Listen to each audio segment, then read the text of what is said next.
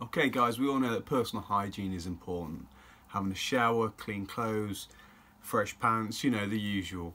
Brushing your teeth is also important. It's especially with toothpaste. It's important for several reasons. Using toothpaste and the correct brushing action, which is debatable I suppose, will help remove the sticky plaque and harmful film that builds up on your teeth, which if not done correctly and, and teeth that is looked after, uh, the plaque can build up and cause cavities, gum disease, sometimes loss of teeth.